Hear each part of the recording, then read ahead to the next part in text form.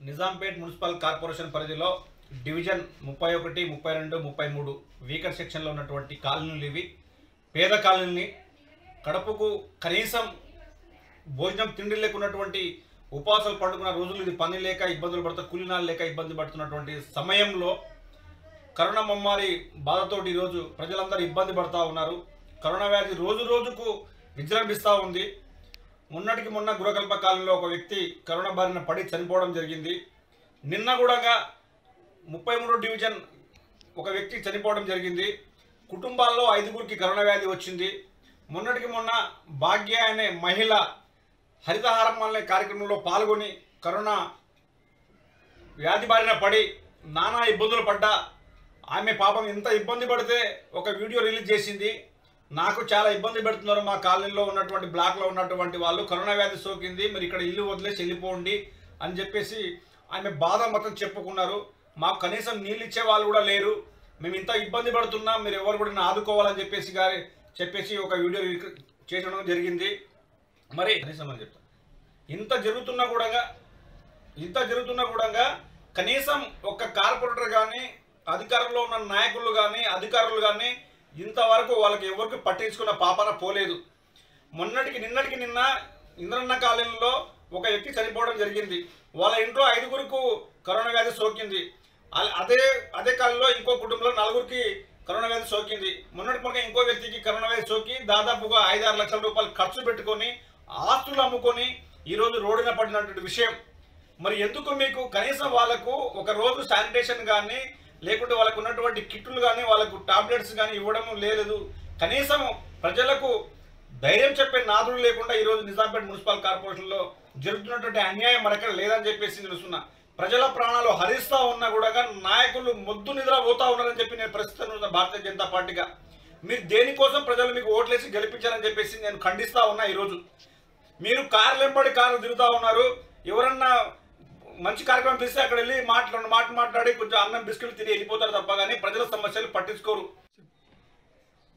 Nizampet municipal corporation పరిధిలో ఈరోజు corona వ్యాధి ముమ్మారి రోజు రోజుకు విజృంభిస్తున్న నిజాంపేట్ డివిజన్ రాజీవ గురుకల్ప ఇంద్రణ కాలనీలో ఇది వీకర్ సెక్షన్ బస్సులో ఉన్నటువంటి పేదవాళ్ళు చాలామంది కరోనా వ్యాధికి బలి అవుతూ ఉన్నారు.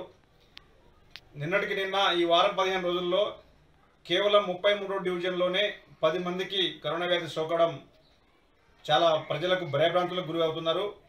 ఇంత జరుగుతున్నా కూడా బీజేపీ నాయకులు పోరాడుతున్నా కూడా టీఆర్ఎస్ నాయకులు అధికారులు నాయకులు నిమ్మకు నిన్నెత్తున్నట్టుగా ప్రజల ప్రాణాలను గాలికి వదిలేసి ఇట్లా చోద్యం చూస్తూ ఉన్నారు. నేను ఒకటే చెప్తున్నా భారతీయ జనతా పార్టీగా మీకు ప్రజలు ఓ ప్రజలు ఓటేసి మీకు అధికారం అంటగట్టినా కూడా మీరు కనీసం వాళ్ళకు కనీసం వాళ్ళకు నీరు కూడా ఇవ్వట్లేదు. వాళ్ళకు ప్రభుత్వం ప్రకటించినటువంటి ప్యాకేజ్ కూడా మీరు ఇవ్వట్లేదు. పేదవాళ్ళు ఆస్తులు అమ్ముకొని గవర్నమెంట్ హాస్పిటల్కి వెళ్తే ప్రాణాలకు భద్రత లేని ఆలోచనతోటి ప్రైవేట్ హాస్పిటల్కి వెళ్తే లక్షల రూపాయలకు లక్షల లక్షలు పోసుకొని ఆస్తులు అమ్ముకొని ఈరోజు ప్రాణాలు పోయినటువంటి సందర్భాలు ఉన్నాయి. ఎన్నో కుటుంబాలు రోడ్డున పడుతున్నాయి. అయినా కూడా మీలో చలనం లేదు. ఒక్క కార్పొరేటర్ వచ్చి కూడా వాళ్ళకి పలకి పలకరించే పాపాన ఇంతవరకు పోలేదు. మీకు ఇంతకన్నా సొయి ఉందా? ప్రజల ఓట్లతో గెలిచిన నాయకులు మీరు. ప్రజల కోసం మీరు పోరాడాలి కానీ ఇంట్లో ఈరోజు నిద్రపోతా ఉన్నారు. ప్రజలను వదిలేసినారు. వాళ్ళకు కరోనా వచ్చినటువంటి కుటుంబాలకి ప్రజలు దూరణ వెళ్ళి వాళ్ళ కనీసం సౌకర్యాలు వాళ్ళకు సమకూర్చినటువంటి నాయకులు ఈరోజు దగ్గర లేనని నేను భావిస్తా ఉన్నాను.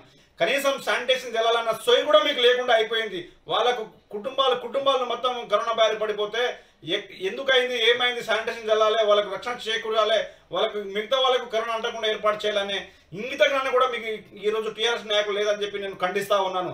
ఇప్పటికైనా నిజాంపేట కాదు రాష్ట్రం మొత్తంలో కూడా మీకున్నటువంటి మీకు ఎప్పుడు కూడా మీ ఆస్తుల మీద మీ యొక్క ఎక్కడైతే వ్యాపారం చేస్తున్నారో వాళ్ళ మీద వెళ్ళి వ్యాపారం చేసుకుంటారు తప్ప కానీ ఏ ఒక్క రాజకీయ నాయకుడు టీఆర్ఎస్ నాయకులు ఒక్కరిని కూడా ఈ రోజు పేదవాళ్ళు చనిపోతా ఉన్నారు పేదవాళ్ళు ఇబ్బంది పడతా ఉన్నారు వాళ్ళకు కనీస సౌకర్యం కల్పించాలి అధికారులను అంటగట అధికారుల దగ్గర తీసుకెళ్ళి వాళ్ళకు సమాచారం ఇవ్వచ్చి కనీసం వాళ్ళకు ఒక ఆరోగ్యవంతమైనటువంటి కుటుంబాన్ని ఏర్పాటు చేయాలని చెప్పేసి ఇంత కూడా మీకు ఇంగితగానం లేకున్నటువంటి రోజు కార్లంబడి కార్యక్రమం కార్లు తిరుగుతా ఉన్నారు. మీరు అసలు ప్రజా నాయకులేనా?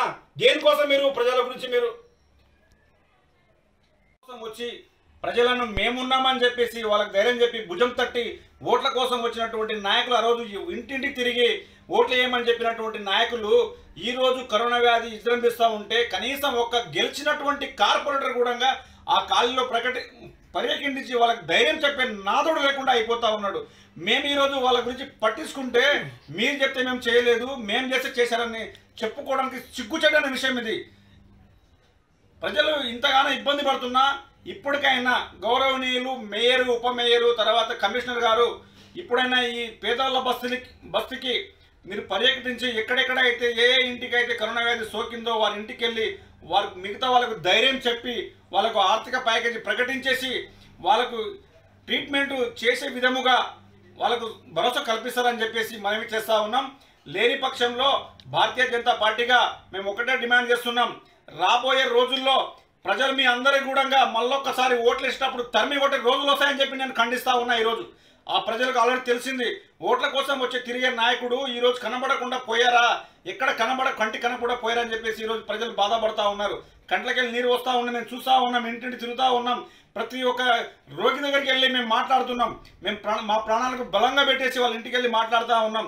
నిన్న ఈరోజు ఒక వ్యక్తి చనిపోతే మీ ఈరోజు ఇంటికి వెళ్ళేసి అక్కడ ఏం జరిగింది? ఎందుకు అట్లా పండిసలేసి అధికారులతో మాట్లాడి శానిటేషన్ ఏర్పాటు చేయమని చెప్తే ట్వంటీ డివిజన్ కార్పొరేషన్ అభ్యర్థి మా గిరిజన నాయకుడు గౌరవనీయులైన బాలాజీ నాయక్ గారు ఒక విషయం చెప్పారు నాకు. రామచంద్ర నాయక్ గారు మీరు చెప్తే మేము పంపించలేదు మా గౌరవనీయులైన కొ- తెగ శ్రీనివాసరెడ్డి గారు పంపిస్తే మేము ఆ పని చేపించామంటున్నారు. మీరు ప్రజల చేత ఓట్ల చేత గెలిపించినటువంటి నాయకులు ప్రజలకు మీరు జవాబుదారిగా ఉండాలి. ఇది రాజరికం కాదు. ప్రజాస్వామ్యం ప్రతి ఒక్క నాయకుడు ప్రతి ఒక్క వ్యక్తి ఖండించే రోజులు ఇది. కాబట్టి ఇంకొకసారి బాలాజీ నాయకుడు అలాగా వాళ్ళు చెప్తే పంపారు వీళ్ళు చెప్తే పంపడం కాదు. ప్రజలకు మేలు జరిగిందా లేదా అనేది ముఖ్యం కావాలి. అంతేగాని మీరు ఒత్తసు పలికి మాట్లాడడం కరెక్ట్ కాదు. నేను ఇప్పుడే ఖండిస్తా ఉన్నా. నేను ట్వంటీ టూలో తిరుగుతున్నాను. ట్వంటీ సీజన్లో ఇప్పటి వరకు గేటర్ కమ్యూనిటీలో ఇంతవరకు దోమల ముందు ఫ్యాగింగ్ చేయలేదు. ఎందుకు చేయలేదని అడుగుతున్నా? నీ ట్వంటీ డివిజన్లో ఎంత సమస్యలు ఉన్నాయో నేను చెప్తాను. నీ దగ్గర సమాధానం ఉందా? ఈరోజు